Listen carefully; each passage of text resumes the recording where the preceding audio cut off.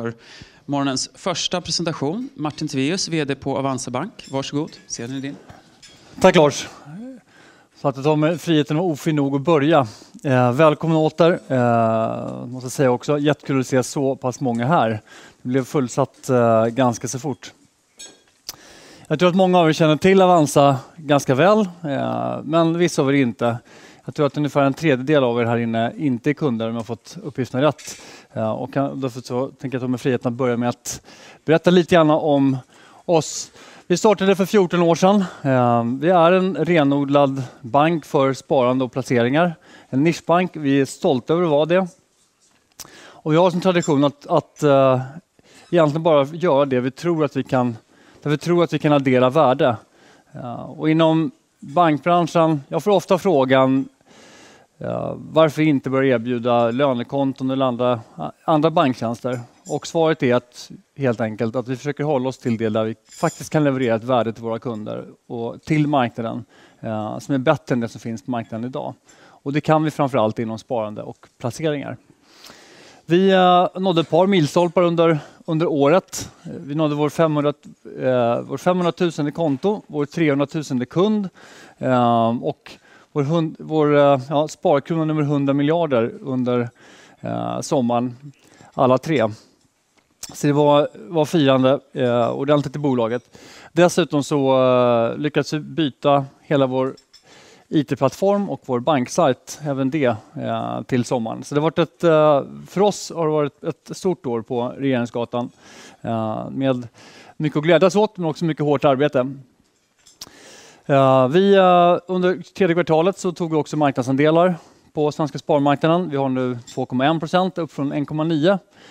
Så vi är fortfarande en, en eh, nischspelare med knappt 2 procent av svenska sparmarknaden vilket innebär 98 procent kvar att slåss om. Så vi tycker att vi har, eh, det finns gott om tillväxtutrymme fortsatt i Sverige, i vår nisch.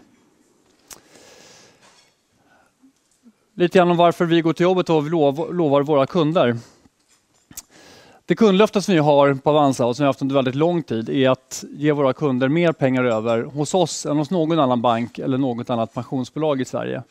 Eh, att se till att man får mer pengar över är syftet med att man sparar oftast.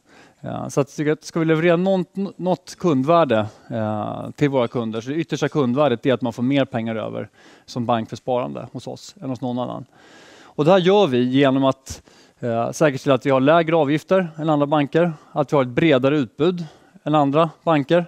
Bredare utbud är också alltid bättre än ett smalare utbud om man, om man tittar på eh, möjligheter att kunna få bättre effekter ut av sitt sparande. Bättre verktyg tycker vi också är väldigt viktigt. Att se till att det, det, finns gott om verktyg för att kunna jämföra och förstå vad man ska kunna köpa. Att kunna hämta inspiration från vad andra eh, kunder gör. Att kunna hjälpa till med skattedeklaration eller K4-blankett om man inte sparar ett schablonbeskattat konto. Eh, och andra typer av verktyg så man får full historik på, på allt, eh, allt man äger och har. Eh, och vi fokuserar väldigt, väldigt mycket på kundnöjdhet. Om det finns en enda sak vi mäter inom Avanza så är det kundnöjdhet. Och vårt, vårt första mål för hela personalen är att vinna Svensk kvalitetsindex varje år. Nu får vi se 9 december i år om vi håller tummarna för att vi eh, tar hem det för fjärde året i rad. Men det är det, är det som ligger högst på agendan eh, hela tiden. Att försöka arbeta för våra kunder och det, det är för våra kunder vi är till för så att säga.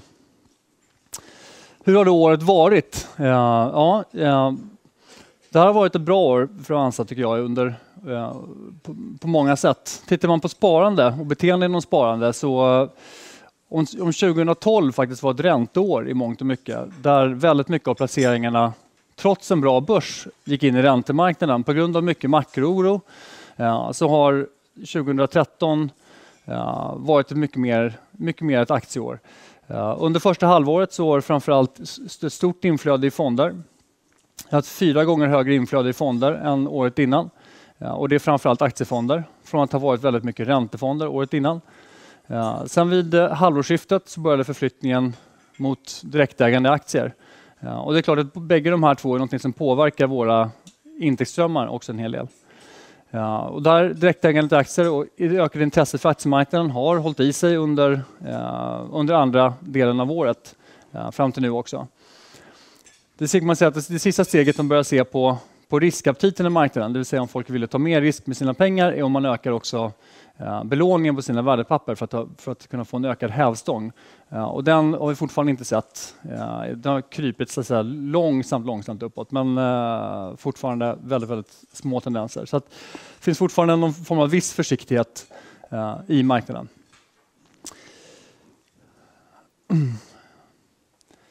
Uh, tittar vi på nettoinflöde, vilket är för oss en av de viktigaste parametrarna på tillväxt. Man kan det som driver tillväxten i Avanza är framförallt sparkapitaltillväxten. Uh, och sparkapitaltillväxten, om den är god uh, samtidigt som att vi kan hålla kostnaderna nere, det vill säga vi har en hög skalbarhet när vi arbetar framåt, så får vi också en bra eh, vinstutveckling och bra rörelsemarginal.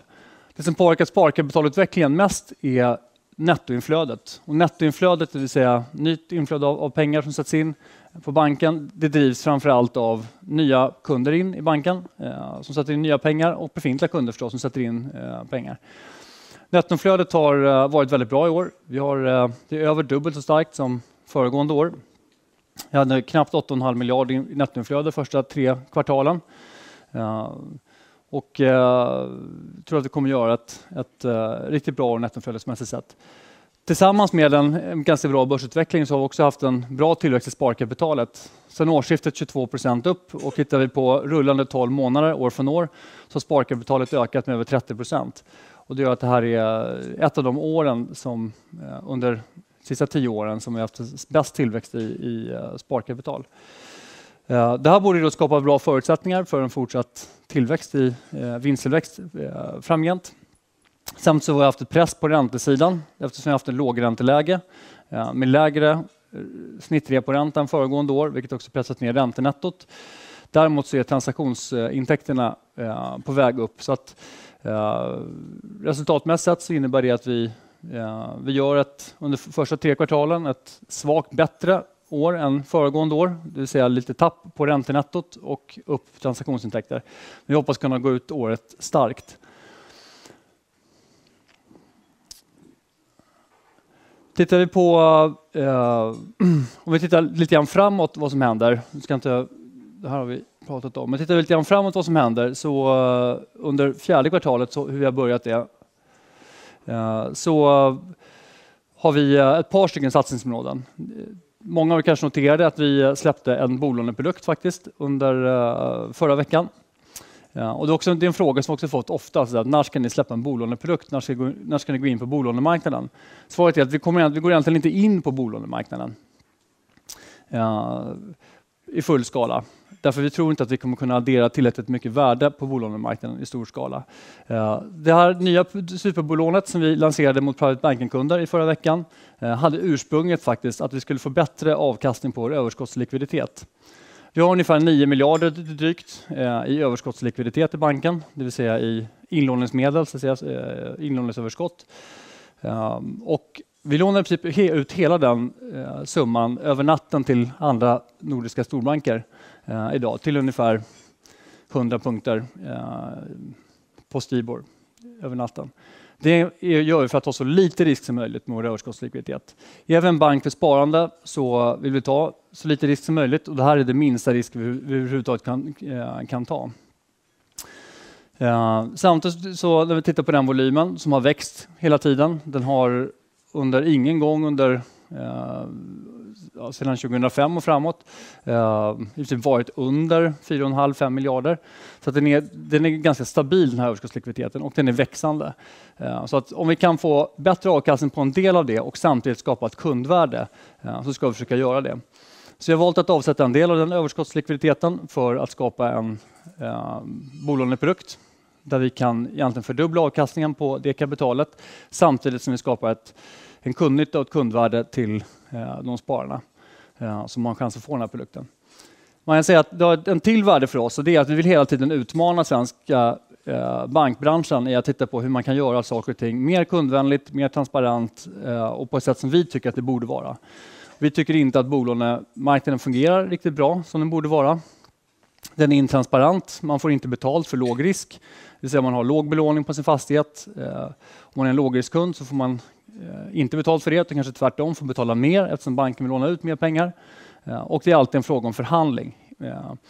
Så att om vi kan lansera oss med en produkt här som är som vi tycker att den borde vara, så kanske vi kan dra vårt strå till stacken till att få till en liten förändring och visa att det går att göra på ett annat sätt. Den har tagits emot väldigt bra, den här produkten kan man säga. Eh, med 1,99 procents eh, ränta och eh, knutet till reporäntan. Så att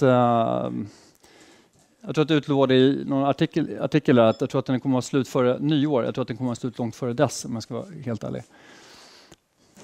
Utöver detta så en annan bit som vi satsade på under fjärde kvartalet har varit att utöka vår pensionsaffär.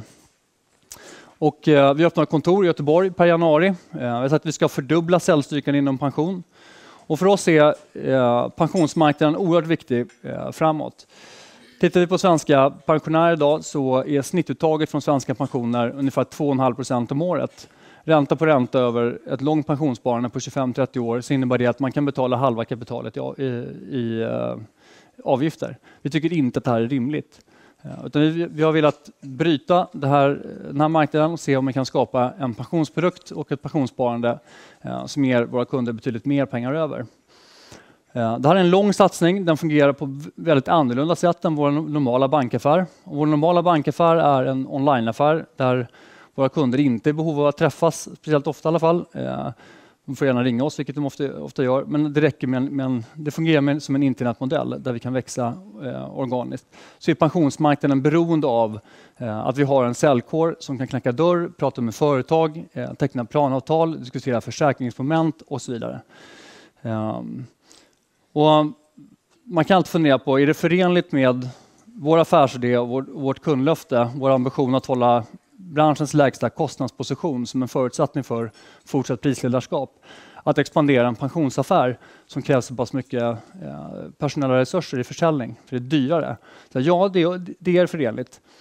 Ehm, för oss handlar det om att vi ska vara lika mycket effektiva, vi ska vara lika effektiva i pensionsbolaget som vi är inom banken relativt andra konkurrenter. Vi har sagt att vi som bank ska vara den mest kostnadseffektiva banken på marknaden, vilket vi är idag. Då ska vi som pensionsbolag vara det också, relativt andra pensionsbolag. Vi ska vara lika konkurrenskraftig där som vi är i banken. Ehm, det tycker vi att vi är. Däremot är det längre, eh, en längre horisont på den affären. Eh, man behöver räkna på ett annat sätt så att säga. Så det tar ungefär sju år att få hem pengarna på en satsad krona eh, inom pensionsaffären, när det tar ett år ungefär att ta in en ny kund i banken. Valet att utöka pensionsstyrkan fortsatt och satsa på Göteborg var för oss ganska självklart. Vi har växt, eh, vi har ökat tillväxttakten i pensionsbolaget med ungefär 50% per år. Eh, så en stark underliggande tillväxt, vi har en bra efterfrågan eh, och vi har en väldigt stark hit rate när vi går ut och säljer vårt pensionserbjudande. Helt enkelt därför att våra kunders anställda kan få så pass mycket mer pengar över. I Göteborgsregionen har vi haft en stor efterfrågan. Vi har haft svårt att möta den eh, med representation i Stockholm. Så att när vi bestämde oss för att fortsätta vår expansion för att kunna hålla i de här tillväxttalen, så var Göteborg ett naturligt val för oss. Ehm, det här är någonting jag faktiskt verkligen ser fram emot att se, att kunna ehm, ta hand om även Västsverige på samma sätt som Stockholm. Dessutom så får vi även dit eh, private banking-kompetens så att vi ska kunna ta hand om private banking-kunder i Göteborgsområdet eh, samtidigt. Det är lite grann om eh, vad som händer nu. Tittar vi på långsiktigt framåt så är det under de närmaste tre till fem åren. Det är viktigt för oss att kunna hålla i en stark tillväxttakt i kunder och sparkapital. Det här är drivet av att vi vet att vi kan hålla, att vi säkerställer att vi kan hålla i en bra kvalitet hela tiden. Att vi kan hålla en fortsatt bra innovationstakt, att vi ger våra kunder någonting att prata om eh, och att vi håller dem fortsatt nöjda. Samtidigt så behöver vi hela tiden arbeta vidare med kostnaderna. Det var huvudskälet till att vi också bytte plattform. Det har tagit oss två år och 100 miljoner i kostnad att byta plattform. Att vi gjorde det är för att vi inte bara nu ska kunna ha eh, Sveriges lägsta kostnadskostym, utan även kunna ha det kommande 10 till 15 åren. Ehm, det kundlöfte vi har att vara den bank som ger mer pengar över till sina kunder än någon annan bank är inte värt någonting ska jag säga, om vi inte kan hålla i det och stå för det kundlöftet även om 10 år, om 20 år, om 100 år. Vi har hand om folks pensionspengar och det är ett långsiktigt åtagande. Vi behöver säkerställa att vi alltid kan leverera ehm, på det här kundlöftet.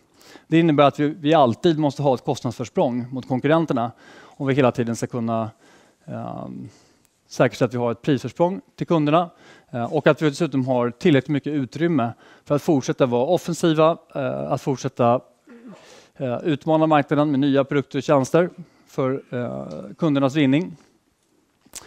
Och det gör att vi hela tiden måste arbeta med det här långsiktigt. Tittar vi på vår IT-plattform så kan man fråga sig varför man byter den när man redan har en så pass kostnadseffektiv bank. Ja, svaret ligger helt enkelt i, i den långsiktiga bilden. Ja, vår plattform, den tidigare plattformen som var uppskattad och den var, fungerade bra, men den hade 13 år på nacken. Om den skulle få bli 20 år, och 30 år och 40 år gammal så ja, skulle den bli allt dyrare och dyrare att drifta och underhålla. Och det är också någonting vi har sett i, i finanserna eh, på Avanza sista åren. Tittar ni från 2005 och framåt så kan vi se att vi har inte haft så himla bra skalbarhet. Vi har blivit tvungna att investera mer i den här plattformen i takt med, med tillväxten. Och det gör att, att rörelsemarginalen har varit ganska eh, konstant. En ny plattform som vi nu kan lansera gör att vi kan ha mycket bättre tillväxt eh, takt framöver och samtidigt hålla kostnaderna nere. Eh, vi skulle kunna skjutsa in en miljon kunder i den här plattformen utan att bli tvungna att investera speciellt mycket mer så att vi har tillväxtutrymme ordentligt eh, i den. Och den är billigare och snabbare att fortsätta utveckla i hela tiden.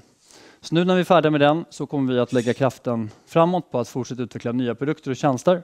Eh, de första har vi precis eh, lanserat men det kommer komma mera per de kommande kvartalen. Eh, ja, då tror jag mina 20-25 minuter över. Då ska vi ställa frågor från Nikolas. Tack. Jag eh, kan börja med att höra om det finns några frågor från publiken. Någon som vill börja? Mikrofonen. Ja, hej. God morgon. God morgon. Jag skulle fråga om eh, ni funderar på att eh, införa Avanzas affärsidéer även i andra länder. Det finns ett stort behov av detta faktiskt när man, man ser runt om i Europa och även i andra världsdelar. Och det, den andra frågan är alltså eh, när det gäller åtkomliga börser om man köper och säljer aktier mm. så och, kanske inte vore så dumt om man kunde åtminstone komma åt Londonbörsen via Avanza. Um, jag vill gärna höra lite kommentarer mm. om detta. Alltså affärskonceptet mm. är jätteintressant. Alltså. I andra marknader, uh, vi utvärderar det löpande, uh, det kan man säga. Uh, att gå in i en annan marknad är förknippat med en hel del kostnader att göra det. Även om det här är en internetbank så är vi inte som andra internetföretag så att vi kan bara flytta över det. Utan synergierna är inte lika stora som man, som man alltid kan tro. Utan det krävs ganska mycket eh, investeringar lokalt. Det kan ni se på eh, en, eh, en nära konkurrent till oss med andra marknader, att det driver kostnaderna en hel del att göra det. Även om man kan överflytta system och annat och översätta en sajt så finns det många kostnader förknippat med att vara en finansiell institution och ha så att säga, tillstånd att bedriva banker i, i den marknaden. Och det gör att, att starta utan några nya kunder och utan varumärke är väldigt kostsamt. Så att ska vi göra det och få en vettig ekonomi i det så behöver vi starta med en befintlig kundbas eh, där vi kan, där vi kan säga, komma dit och flytta över vår teknologi och vårt sätt att arbeta på, eh, våra produkter. Men det måste finnas en befintlig verksamhet. Vi har tittat lite grann på det och vi gör det löpande. Jag ser i dagsläget egentligen inget intressant till salu, eh, om man ska vara helt ärlig.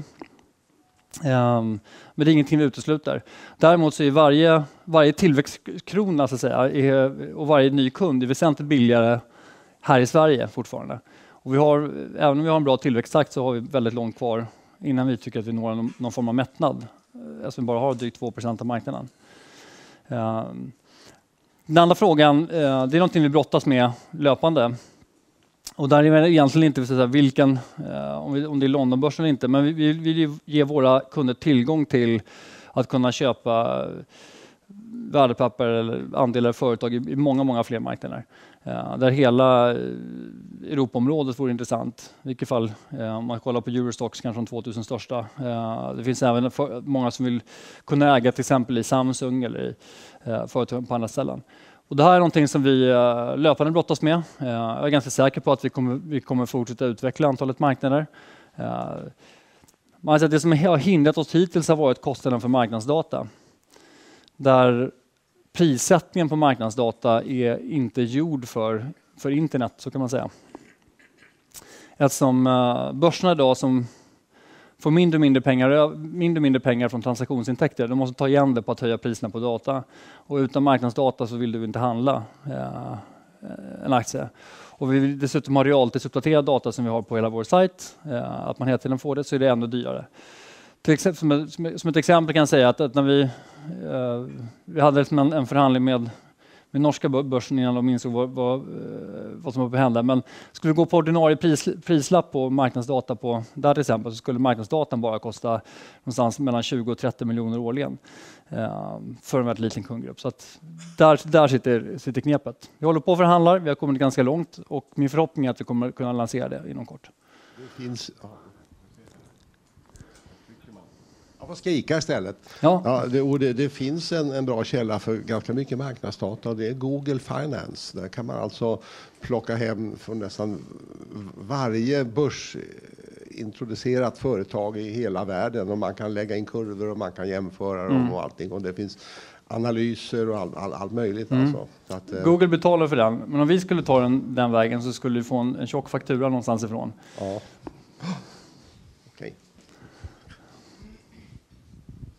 Får jag ställa en fråga? Ja.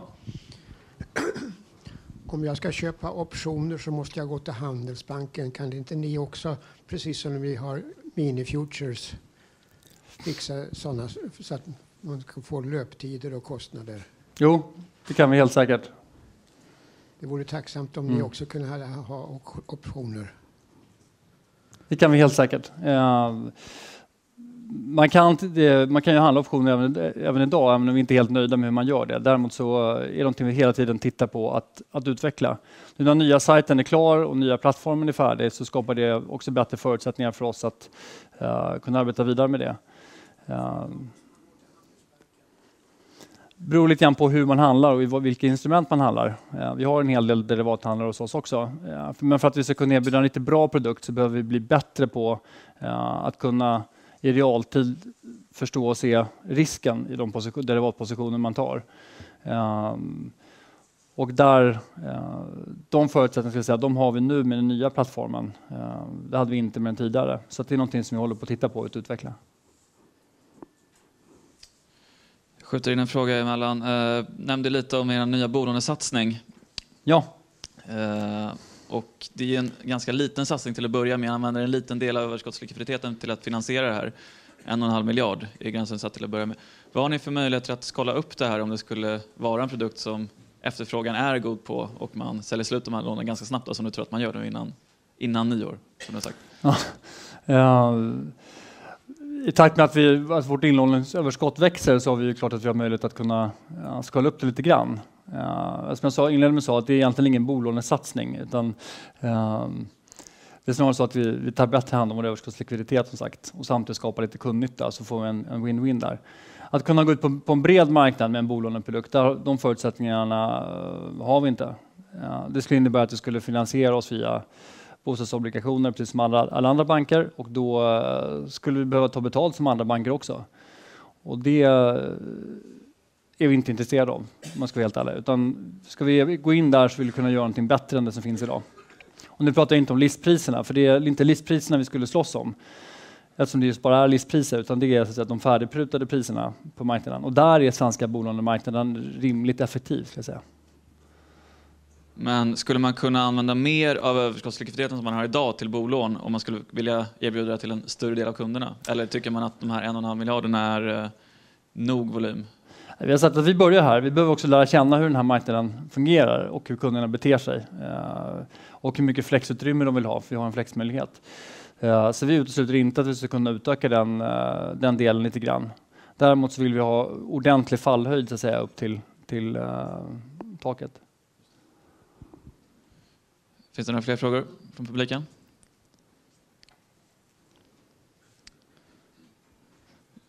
Skjuta in en till fråga Eh, om man tittar på hur prissättningen av produkterna som Avanza erbjuder har sett ut över tid så har det varit en ganska fallande trend om man ser liksom över 12-13 års tid eh, som Avanza har varit med och drivit. Att man har sett eh, lägre courtageavgifter eh, eh, framför allt. Och hur ser ni på det framöver? Tror ni att, liksom, att det har bottnat ut, att vi, når, att vi har nått en nivå på exempelvis aktiehandel, eh, courtageavgifter som är långsiktig, eh, långsiktig nivå där det kommer ligga på eller tror ni att den här utvecklingen kommer fortsätta? Att vi kommer se lägre och lägre avgifter på courtage, på fondsparande och andra typer av eh, sparprodukter som Avanza erbjuder?